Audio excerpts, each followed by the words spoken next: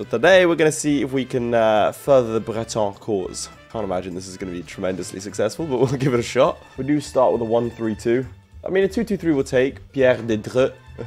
I'm going to have fun pronouncing these names. All right, does anyone start friendly? God, no. No. Okay, so there's this run dead. Uh, I'm going to keep playing, though, but that's pretty much us gone. There's nothing we can do. All right, well, I'll, I'll fight. I'll fight to the death, boys.